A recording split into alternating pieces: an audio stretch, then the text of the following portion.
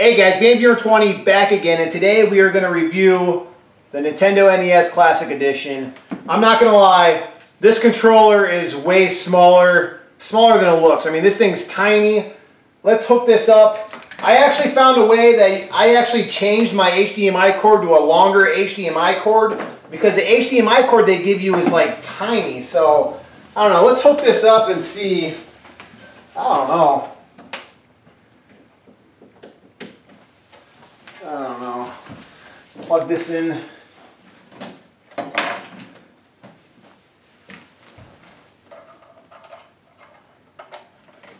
Oh man, Nintendo, you tripping, man. Look at this. Look how tiny I you can't even like stretch this out. I even have like I guess if you buy a really long HDMI cord, you might be able to, you know, that's what you need to do. Instead of buying an extender for the core, for the controller, that's going to put some delay in your buttons. I would buy a really long HDMI cable because you can use any one you want and then you'll be able to stretch it out as long as you want. The fact that we got to do that, Nintendo, that's ridiculous, man. I, that's, I guess I'm just going to sit on the floor and play this for this review. Let's get started.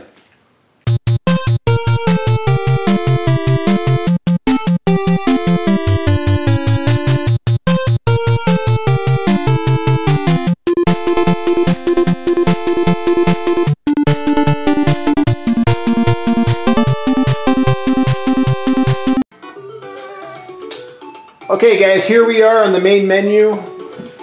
I'll run through the games real quick. We got Mario Bros, Mario Bros 2, Mario Bros 3, Tecmo Bowl, Zelda, we got Zelda 2, Balloon Fight, Bubble Bobble, Castlevania, Castlevania 2, Donkey Kong, Donkey Kong Jr., Double Dragon 2, Dr. Mario, Excitebike, Final Fantasy, Galaga, Ghosts and Goblins, Gradius, Ice Climber, Kid Icarus, Kirby's Adventure, Mario Bros, Mega Man 2, Metroid, Ninja Gaiden, Pac-Man, Punch-Out, Star Tropics, Super C. Yeah, so there you go, 30 games. Quite a, quite a good deal, I think, for 60 bucks. Let's go ahead and jump into a classic. Let's just go to Mario Brothers. Let's test out this controller. Seems pretty responsive.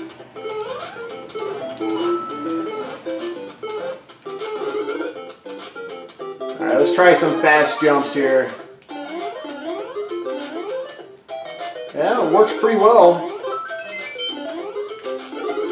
That works pretty well. So let's go ahead and, uh, oh yeah, that's right. In order to go to the main menu, you actually have to go to the console and hit the reset button.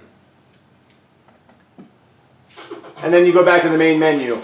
There's actually a way around that. You can get a classic controller for the Wii and plug it in and you hit the home button and it'll take you back to the home screen. I don't know why they didn't put a home button on the classic controller.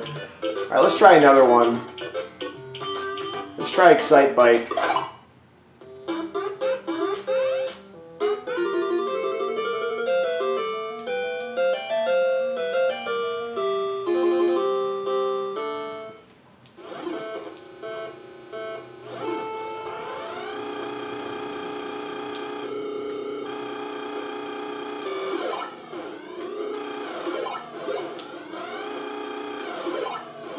Yeah, so that works pretty good. Let's go ahead and go back to main menu.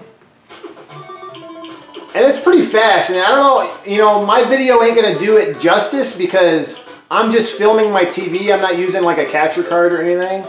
And uh, the HD looks really, really great. I have no idea how it's coming out on tape right now, but yeah, it looks really good. Let's try one more.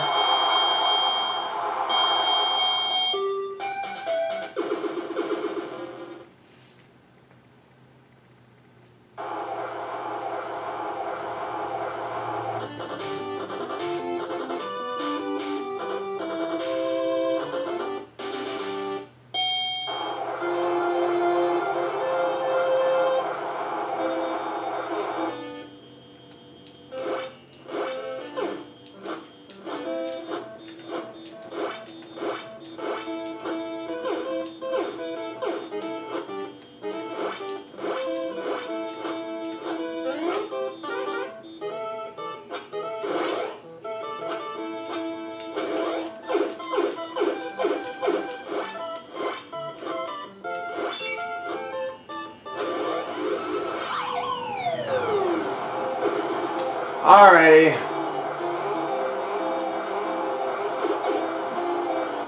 Let's go back to the main menu. I don't want to play too much, but a, a cool thing about this is you can go down here you can actually like save this to one of these slots. So you can actually have four save spots for every one of these games, which is really, really cool. I mean, I think that's really, really sweet. I think Nintendo should have made it to where you could have like downloaded more of these virtual console type games. I, you know, I think they would have made more money. And it would have been really, really cool. I mean, heck, people are doing it already anyways with like those, uh, those Pis or whatever they want to call them, those Raspberry Pis. People are already kind of making their own, uh, which is kind of understandable because these things are so hard to find right now. It's crazy, but that's pretty much it for this review, guys. There ain't much to it. You can go to the display options and do pixel perfect, uh, 4, 3, or, uh, or you can do CRT. You know what? I haven't tried the CRT filter yet. Let's try this real quick. I just have to try it. Let's go back to Mario Brothers. I want to see if this looks like old school TV here. You know what? Let's do Mario 3. Let's try this out right now. All right, Mario 3. Supposedly, oh, okay, I can kind of see the white, the lines.